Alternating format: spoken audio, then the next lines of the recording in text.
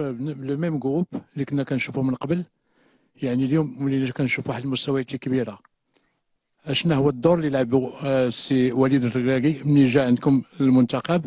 وشنو لو بلوس اللي زاد؟ لأن شفنا تغيير كبير؟ نفس المجموعة اللي كانت. خلي بلا ما ترجعوا على شنو No, no, غادي غادي نقول غادي نقول ما عنديش مشكل.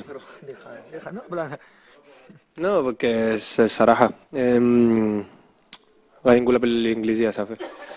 No, it's like you say. I I, I don't have nothing uh, in con that the, the last coach. You know, also he do his job. He, I want to say also thank you that we do the classification with him and everything.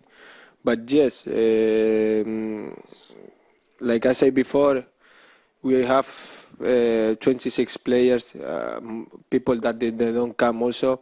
But everyone who want to come here, uh, he know what they need to do because the guy what he near to me in the left side, he do amazing job. He don't have time to to to work to do his things, but he create a, a nice group.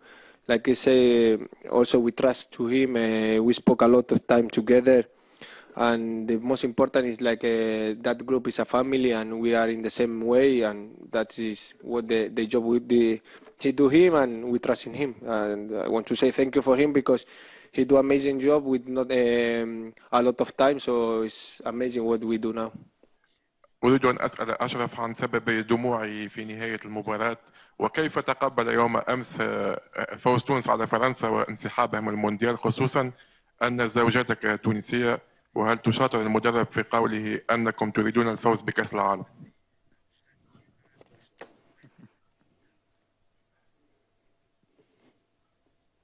um, eh, all'inizio perché il fin del partito. Ah, sí.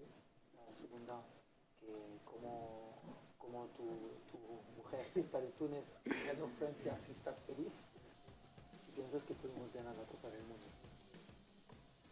Um, yeah, the first question is like uh, I, I'm very emotional in this moment uh, because we do make history.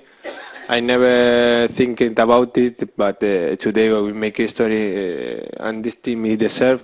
We work a lot. We pass a bad moment, but now it's time to enjoy. For that, I, like I said before, uh, I'm very emotional. I see my family, my kid, uh, all the people from Morocco. The coach also saw some video that the people from Morocco she celebrate a kid uh, is uh, discapacited and he wants to jump and everything. But um, that feeling uh, he uh, he touched my my heart and yes, also I'm happy for Tunis because it's Arabic country and he win. But uh, me, I want to focus in, in my team and make proud all the Arabic people that, um, like I said, the coach, uh, the African team, they, they can do a lot of things and why not, uh, if possible, go uh, far in this World Cup. But uh, we are thinking game by game and step by step. Okay, you can go there on top.